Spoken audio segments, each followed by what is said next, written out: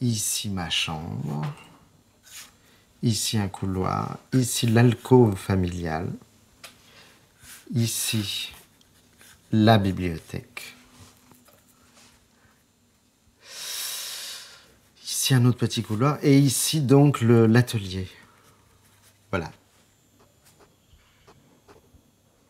Je suis né et j'ai vécu mon enfance dans un appartement où en fait il y avait deux, deux pôles. Euh, mon père était peintre et donc le premier pôle c'était l'atelier. Et c'était un endroit où on fabriquait de la beauté, disons. Des belles choses qui étaient de l'ordre d'une sorte de surréalisme. Bon, voilà. Et puis, il y avait le pôle, je dirais, maternel, euh, c'est-à-dire euh, un très grand silence et des livres euh, quelque part dans une bibliothèque un peu cachée sur la Shoah. Et un enfant, il a l'accès, bah, pour lui, c'est des images, d'un côté comme de l'autre. Ce sont des images. Donc, il me semble que ce dispositif de départ a conditionné euh, une grande partie de mes intérêts. C'est-à-dire je m'intéresse à des choses extrêmement belles et même euh, diaphanes, jusqu'au diaphane, voyez Et je m'intéresse à des choses extrêmement brutales et euh, qui me bouleversent pour de toute autre raison.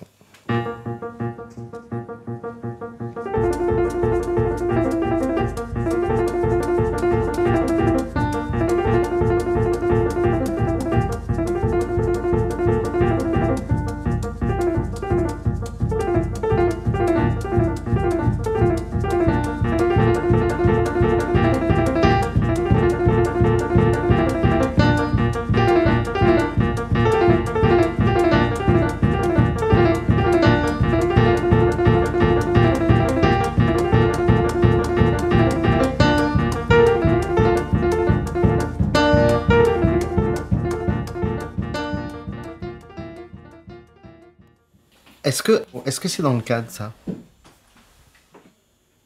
Ce qui m'intéresse, c'est ce qui m'étonne, c'est ce qui me surprend, c'est ce qui pose une question. D'accord, c'est bon. J'ai un jour, dans la bibliothèque de l'atelier, je suis tombé sur euh, Les larmes d'Eros de Bataille. Voilà, ça c'est une double page euh, scannée et réduite du livre des larmes d'Eros de Bataille.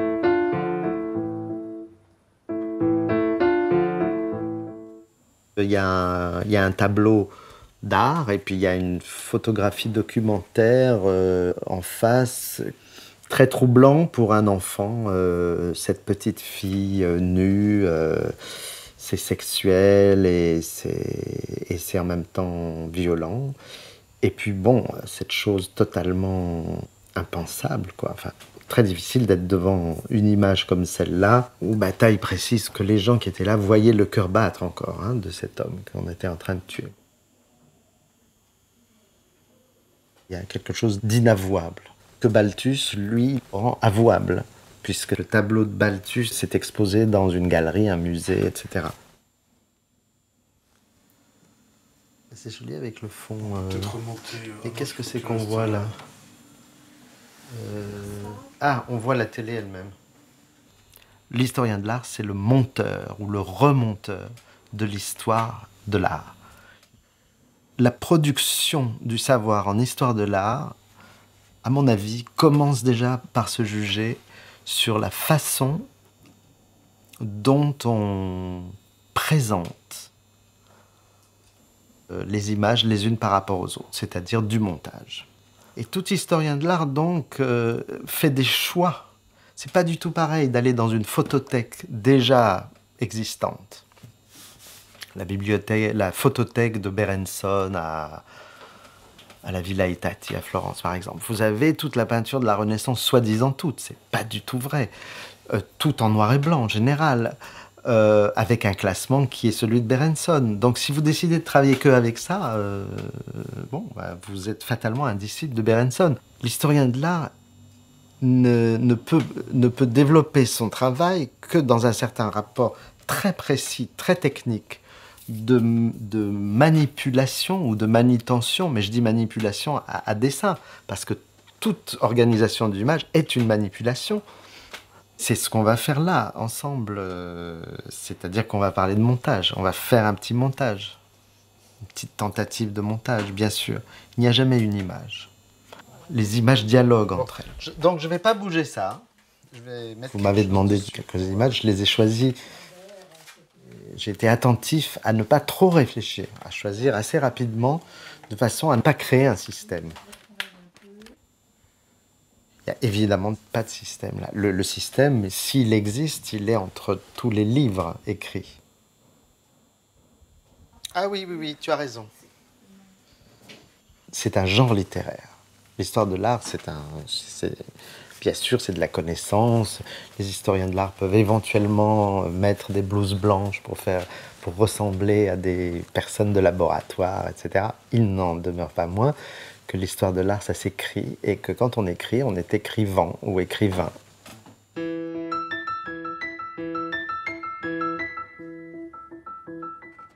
Je traverse le boulevard Montmartre.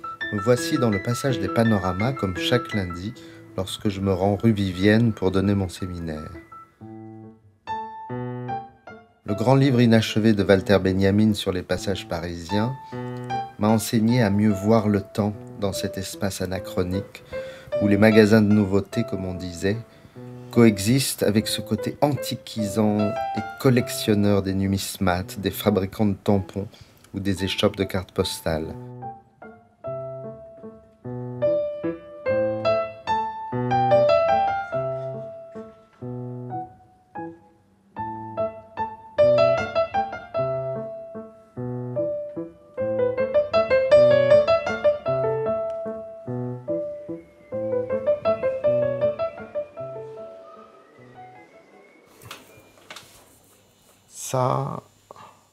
Tout de suite ça à côté ou, comme ça.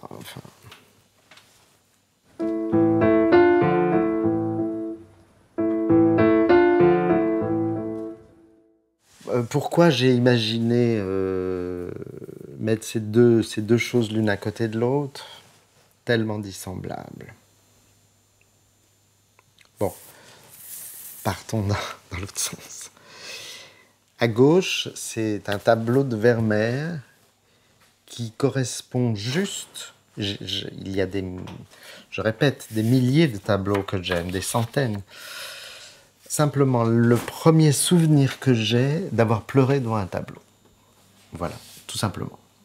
Je crois que je devais avoir 17 ans, quelque chose comme ça. Je tombe sur ce tableau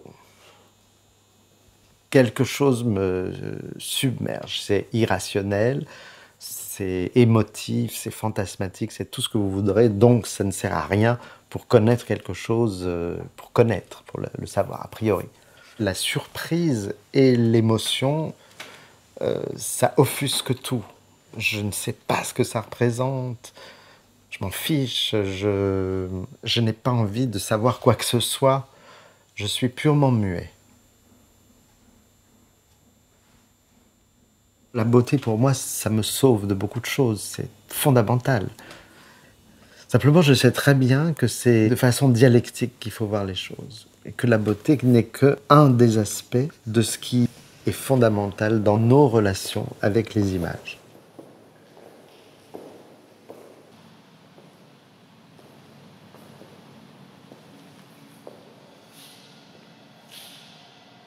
j'ai toujours pensé que j'étais incapable de penser la politique.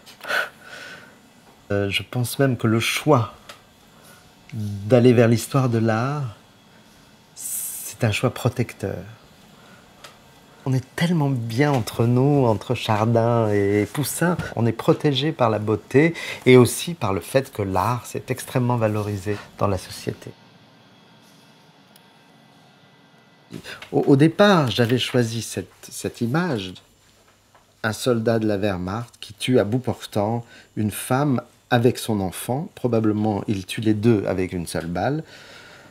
euh, image qui m'a poursuivi dans mon enfance, image sur laquelle je n'ai encore rien à dire, mais c'est toujours euh, depuis longtemps dans mon projet de, d'essayer de parler de cette image. Je m'interroge, qu'est-ce qu'il veut faire là, le photographe? Qu'est-ce qu'il fait là? Car une image n'est pas seulement une œuvre finie. Une image, c'est un acte. C'est ce que dit Sartre c'est évidemment un autre soldat de la Wehrmacht qui a pris cette photo. À quoi ça lui sert? J'ai le sentiment, notamment en ayant vu des images absolument insupportables de, des Japonais au moment de la prise de Nankin en 1937, j'ai le sentiment que ça a à voir avec la chasse. Le tableau de chasse. Vous savez comment on appelle le, quand on a tué un animal et qu'on l'accroche au, mur, on appelle ça un massacre. Donc voilà, les deux sens du mot massacre. Le massacre en tant que destruction d'êtres humains et le massacre en tant que trophée. L'image en tant que trophée, c'est-à-dire la réalité sensible de la prise de pouvoir sur autrui. Donc, bien sûr, mettre un Vermeer à côté de cette image, c'est très très dur, très, ça n'a rien à voir. En même temps, ce sont les deux faces d'une certaine pratique de l'image euh, pour le pire et pour le meilleur, ou si vous voulez, pour le meilleur et pour le pire.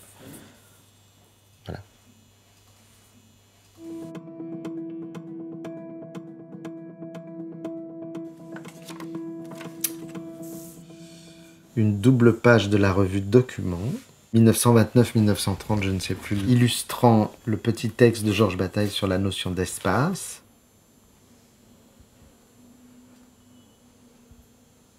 Je crois que Bataille, c'est quelqu'un d'essentiel pour l'histoire de l'art. Essentiel. Il a une théorie de l'image, il a, il a une façon de regarder, il pose les questions en tranchant, en faisant des, en tout cas là, un gros poisson qui mange des petits poissons. C'est un problème d'espace, à condition qu'on accepte que la question de l'espace soit aussi, par exemple, une question de voracité. Ce qu'il y a en dessus, ils ont sur la tête des masques qui représentent des crânes. Ce qui est un très beau paradoxe spatial.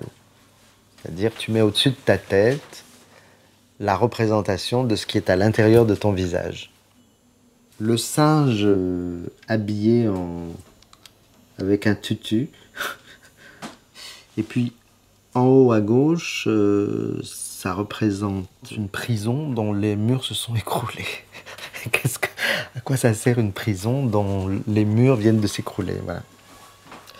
Donc là, on a affaire à un montage dont l'effet visuel général est explosif, mu par une certaine, un certain aléatoire, évidemment, surréaliste. Euh, mais dans son texte, Bataille construit les relations entre ces choses-là.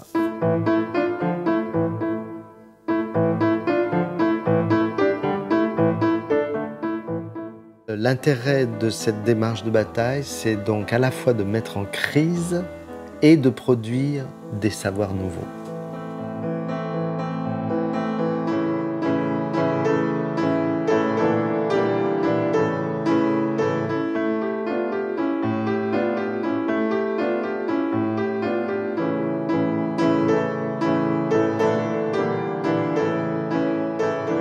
Fait donc Warburg à la même époque, c'est-à-dire en 1929, ces espèces de montages qui ne sont absolument pas surréalistes, bien sûr, dans son esprit, mais il y a quelques analogies avec l'apparente gratuité des relations euh, mises en œuvre par, Bataille. Voilà.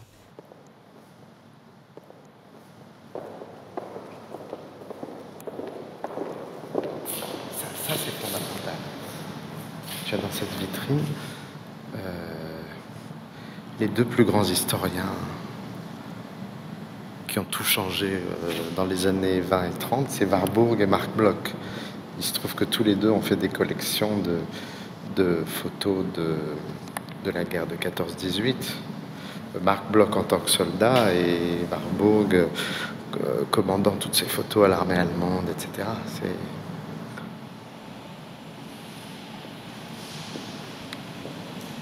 n'a jamais publié de livre, Warburg. C'est magnifique. Il a créé la plus belle bibliothèque du monde. Ah, ça, il a été capable de faire une bibliothèque. C'est son œuvre. Mais un livre, il n'en a pas fait.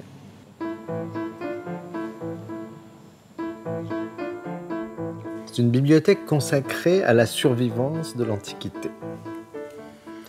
Simplement, elle est organisée de façon stupéfiante. Stupéfiante. Vous avez un petit rayon euh, sur la question des mathématiques et au milieu, vous avez euh, des choses sur la divination, par exemple. C'est très très intéressant. Donc c'est une bibliothèque qui fait surgir des problèmes. C'est un peu comme ça. L'Atlas Mnémosine de Warburg, euh, l'Atlas, que je présente là sous une forme ridicule, puisque les panneaux eux-mêmes faisaient donc ça, ça faisait 1m50 de haut dans l'espace de sa bibliothèque. Donc plus on va petit, euh, moins on, peut voir les rapports entre les images, bien sûr.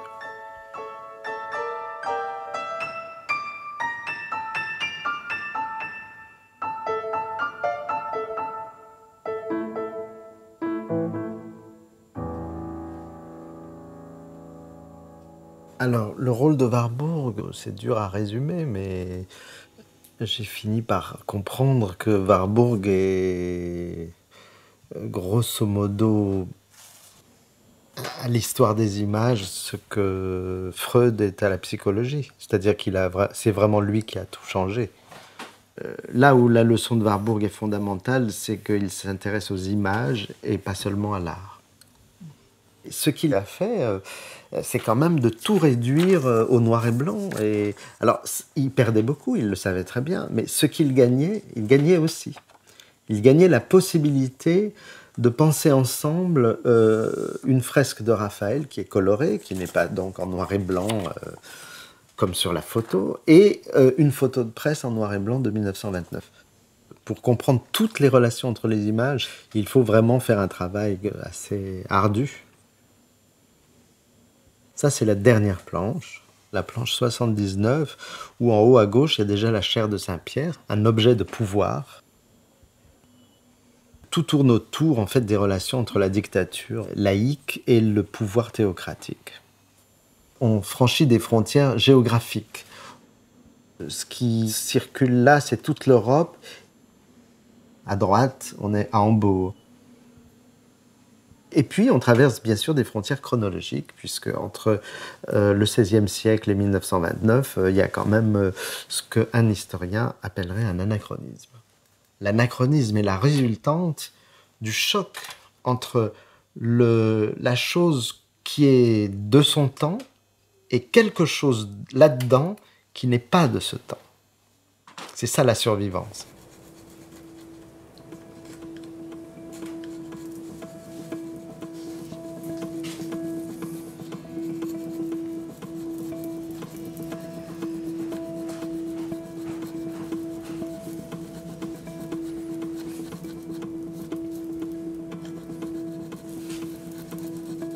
Vous êtes enceinte. Vous êtes jeune et vous êtes de votre temps. Vous faites des gestes de votre temps. Quand vous allez accoucher, vous allez avoir des gestes d'un autre temps. Vous allez accoucher comme votre grand-mère. Et donc vous allez avoir des gestes qui sont à la fois de votre temps et d'un autre temps. Dans chaque événement, il y a un mélange de temps bref et de temps long. Temps bref, temps long.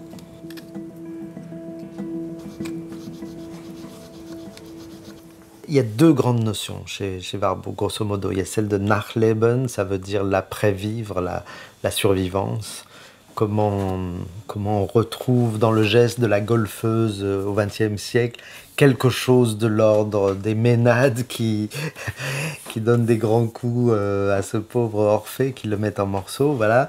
Et puis, il y a cette idée de pathos formel, de formule de pathos. Ah d'accord, voilà. vous, vous êtes mouleur. Voilà, dans les mouleurs. Mouleur, staffeur, accessoiriste. Euh, peinture, non Peinture à l'huile. Peinture à l'huile. Qu'est-ce que c'est les formules du pathos? C'est une façon de représenter la vie en mouvement.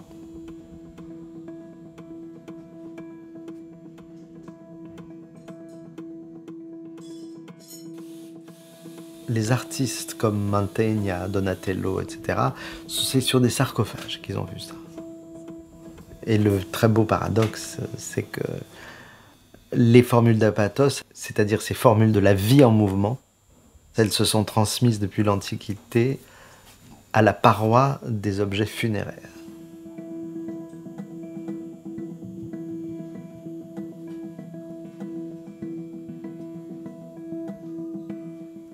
je pense à une chose, c'est que euh, ayant travaillé sur Charcot, j'ai travaillé sur Charcot en dépit d'un projet de thèse, en fait, qui m'a été refusé.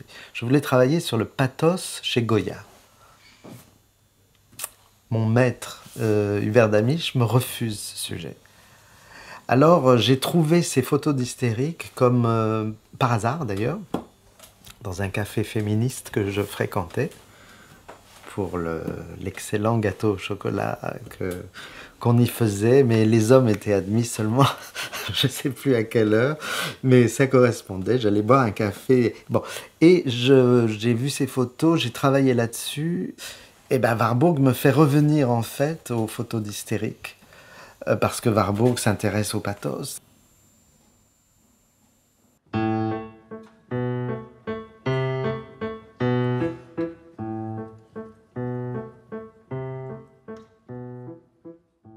Quand j'ai fait mon premier grand travail sur les photos d'hystérique, j'avais en projet un livre en, deux volets.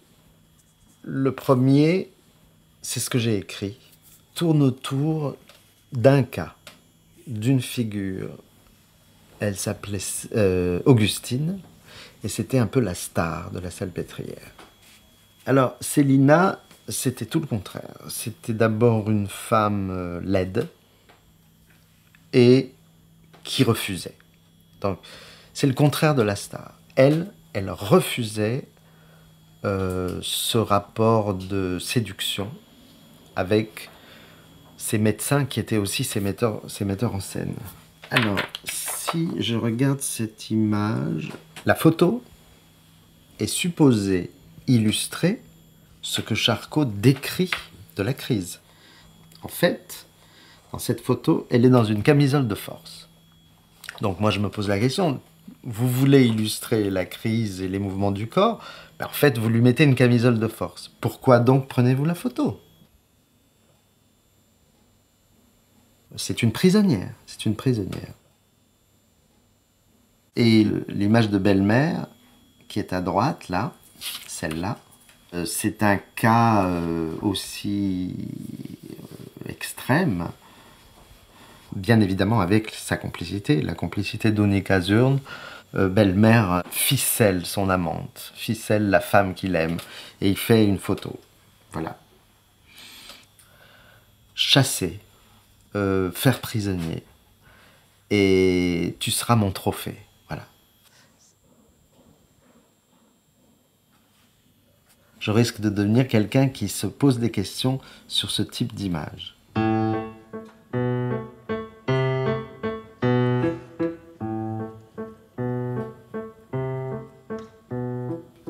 Je reviens à celle-là. À la limite. Celle-là, l'image de, je sais pas, préadolescence, ou l'image découverte. Donc, pour arriver jusqu'à cette double page, il a fallu probablement que j'entre dans l'atelier de mon père à un moment où il n'était pas là, que j'ouvre la porte où il y avait la bibliothèque, je prenne ce livre-là, donc j'ai dû en regarder d'autres. Et euh, voilà, que je feuillette ça de façon voilà, clandestine. Donc, il y a un élément inéliminable dans la passion pour les images, c'est la curiosité. Être voyeur, c'est la bordure de, euh, de toute passion pour les images, les passions. C'est l'expression de Baudelaire.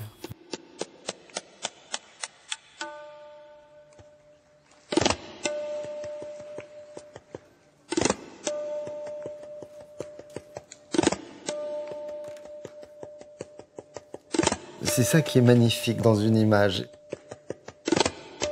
C'est que rien n'est caché.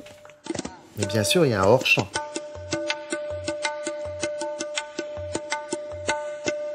Donc il faut accepter cette idée du non-savoir.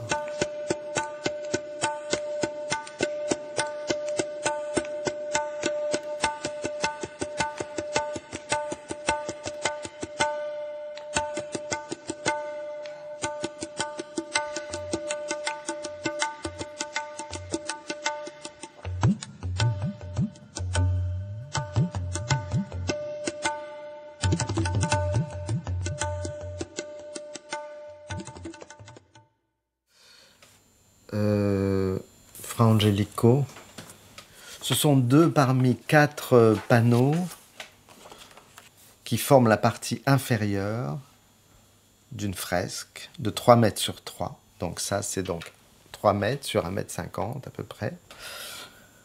Et donc il y a un deuxième rectangle au-dessus, de la même technique exactement, qui représente euh, une sainte conversation. Ça se trouve dans le corridor du couvent de San Marco à Florence.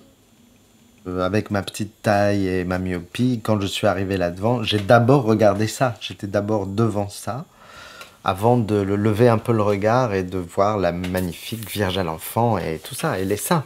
Mais ce qui m'a frappé, évidemment, c'est l'aspect dialectique. Il y avait vraiment un double régime de, de l'image, en haut et en bas. Euh, l'histoire de l'art de la Renaissance avait élucidé le fait que dans la partie d'en haut, il y a une construction, euh, grosso modo perspective, etc. Tout ce qu'on sait de la Renaissance. Et puis en bas, euh, ben, c'était pas élucidé de la même façon. Et donc j'ai tout laissé tomber pour essayer de comprendre ça, ce qui a été une véritable aventure parce que bah, parce qu'il n'y a pas d'iconologie de ça. Il y avait déjà, déjà ça n'avait pas été même mesuré dans les, dans les catalogues, jamais photographié, jamais pris en compte dans les interprétations. Comment j'ai fait J'ai, comment, je, me suis adressé d'abord à deux, à deux sources. Premièrement, le restaurateur de ces fresques. Je voulais vraiment savoir comment c'était peint, euh, s'il y avait vraiment une, euh, comment dire, une, discrépance, une différence totale entre les deux parties. Il m'a dit non, non, non, c'est vraiment la même technique, c'est faire en même temps.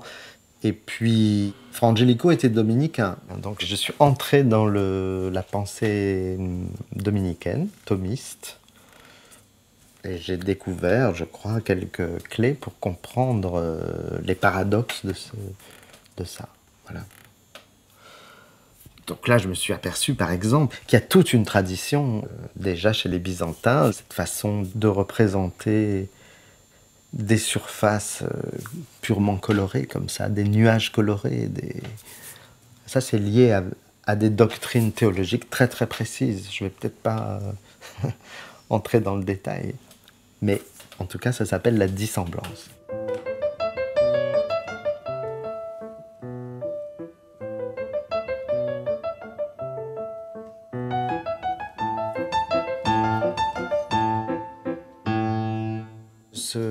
Petit entaille qu'il m'a offert, d'ailleurs c'est tout petit, et c'est une photographie, c'est ça qui m'intéressait. C'est pas un entaille, c'est une photographie d'un tableau de entaille euh, posé au sol. Entaille et la photographie, on voit pas bien. C'est la justement, on avait tendance à dire c'est la pure peinture. Voilà qu'il travaille avec la photographie et pire, il travaille avec une photographie d'un objet vu euh, en perspective.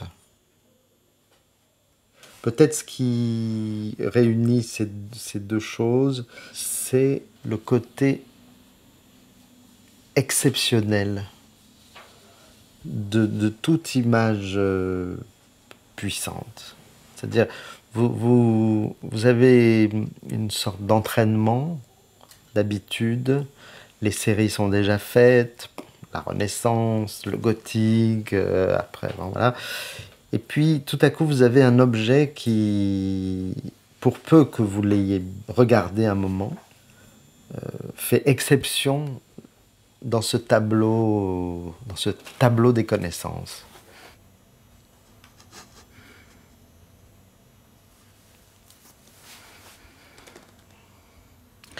Et en fait, j'ai bien envie de retravailler sur ces petites choses de entaille.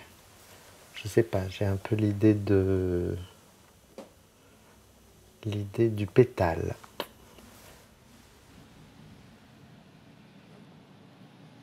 Ah, voilà un problème magnifique. Comment on classe ces images?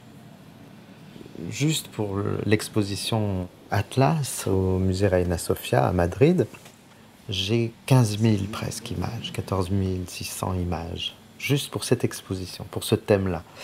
La question c'est comment on les classe?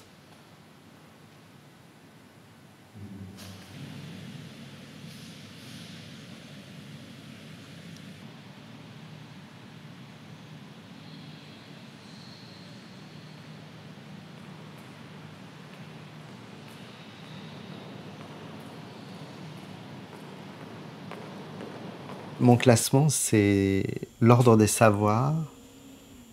Donc, euh, si j'ai des images sur Walter Benjamin ou Warburg, c'est là-dedans. L'ordre des lieux, l'ordre des matières. Alors, s'il y a des faux marbres, ça sera là. Il y a l'ordre des corps. Corps érotique. Euh, voilà. Corps politique. Corps détruit. Visage.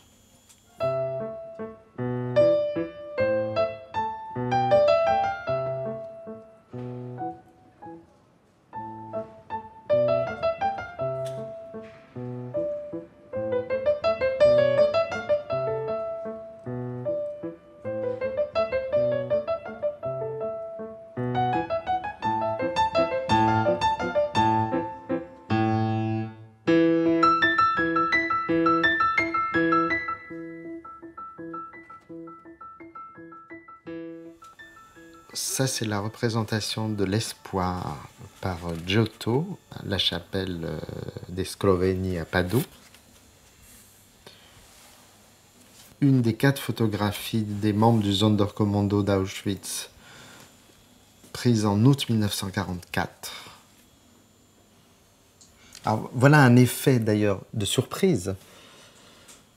Je choisis ça, je mets ça à côté, je m'aperçois que dans les deux cas, il y a quelque chose comme une, ouverture qui n'en est pas une, enfin, un problème de porte. C'est là où on pourrait commencer de travailler. Je m'aperçois que, bon, l'allégorie de Giotto, elle est déjà là. Abby Warburg met l'espoir euh, juste à côté, il y a des gravures antisémites de la Renaissance. Juste au-dessus, il y a ce que fomente Mussolini avec le pape.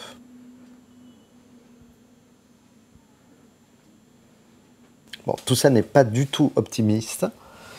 Et il n'est pas indifférent de savoir que Walter Benjamin a fait un commentaire de cette figure de l'espoir elle, l'espoir, spes en latin, c'est féminin, c'est une femme.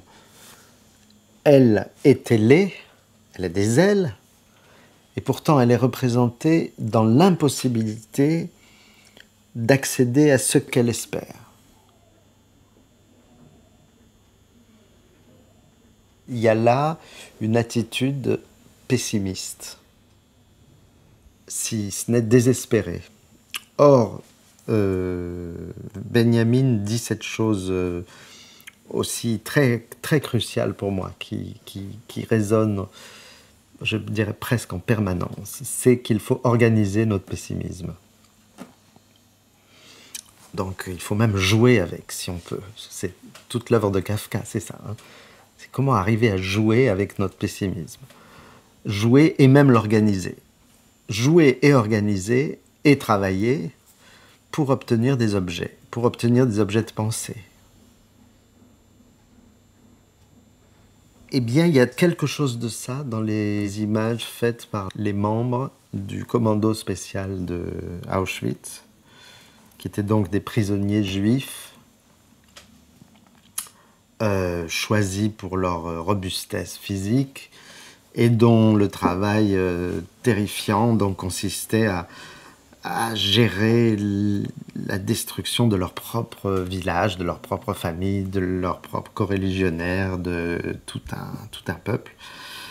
Euh, c'est donc eux qui traînaient les cadavres, qui les faisaient brûler, qui s'occupaient des cendres, etc., etc., etc.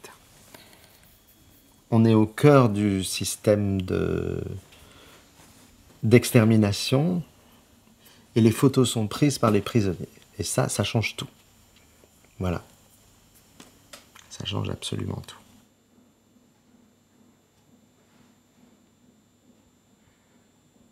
Euh, pourquoi cette équipe du commando spécial a eu besoin de voler un appareil photo, de trouver la pellicule, de faire les photos? Il faut quand même imaginer que c'est de l'ordre presque de, l'impossible de faire des photos dans cet endroit, c'est-à-dire euh, euh, l'extérieur immédiat de la chambre à gaz. Ces quatre petites photos ont été roulées dans un tube de dentifrice et envoyées à la résistance de Cracovie, accompagnées d'un texte, un texte euh, pour que tout ça parvienne quelque part euh, en Occident et que les Américains veuillent bien bombarder Auschwitz, pas seulement Monowitz, l'usine, mais Auschwitz, les chambres à gaz ces clichés sont restés à Cracovie, n'ont pas été transmis, mais ça nous sert à comprendre que hum, la fabrication d'une image peut intervenir dans un processus de résistance. Voilà. Et on peut dire que ces photos ont survécu. Tous ces gens n'ont pas survécu. Donc c'est l'image qui est survivante. Depuis, le, motif politique dans mon travail devient de plus en plus précis.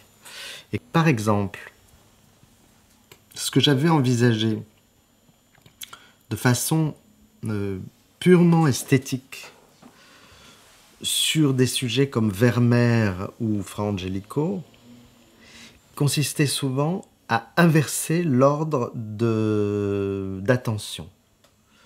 Vous êtes attentif au portrait, regardez le fond aussi. Vous êtes attentif à la, à la sainte conversation, mais regardez juste en dessous, ce qui est une autre sorte de fond, en tout cas une zone déclassée, moins importante. Regardez les acteurs, mais regardez bien les figurants aussi.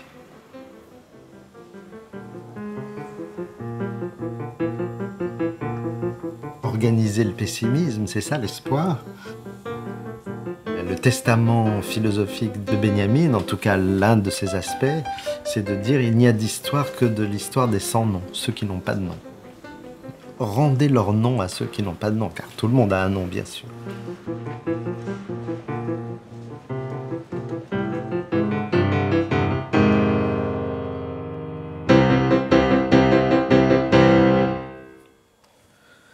C'est un dessin, celui-là. Euh, je l'aime parce que bon, la gravure, elle est fameuse. C'est le songe de la raison engendre des monstres. C'est le caprice numéro 43 de Goya. Elle peut servir d'allégorie au travail, ou plutôt aux travaux. Il y a le travail de derrière la tête. Ce que Mallarmé appelait les arrières-ressemblances. Voilà, c'est tout ce qui est derrière notre tête et qui de toute façon va orienter notre regard, va... C'est ce travail dont nous ne savons pas grand-chose, qui est souverain. Alors derrière la tête de, Goya euh, endormi sur sa table, euh, il y a... Y a lui, il y a sa propre tête un peu dans tous les sens. Mais il y a aussi euh, des visages humains totalement grimaçants. Il y a des grimaces qui se transforment en masques. Il y a des masques qui se transforment en têtes d'animaux. Il y a donc ce chaos. Il y a cette espèce d'aura d'énergie psychique. On dirait que sa tête explose, non?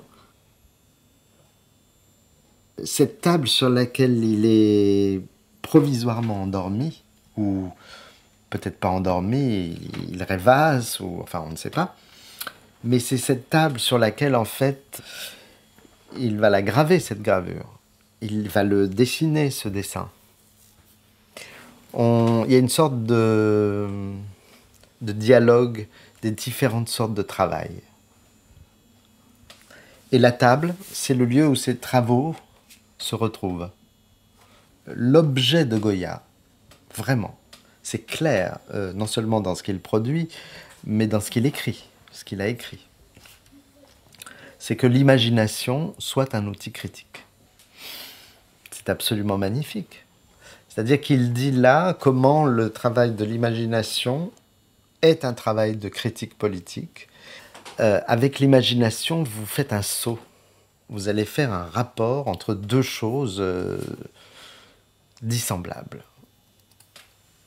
Ou bien vous, c'est justement de, simplement de l'ordre de la fantaisie, euh, de la lubie personnelle et vous serez un médiocre surréaliste?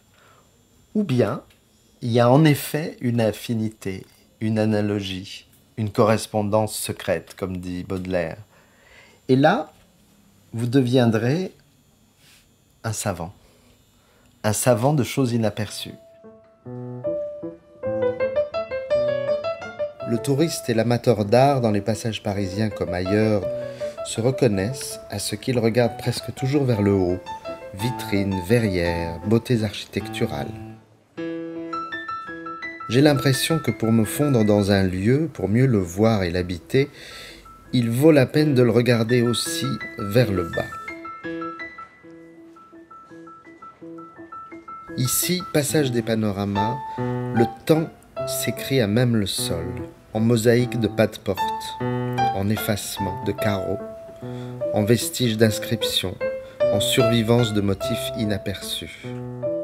Un petit bout du passage des panoramas peut alors dignement ressembler à toute une paroi de Sainte-Sophie, même si le bout d'à côté se trouve englouti sous sa moderne chape de béton.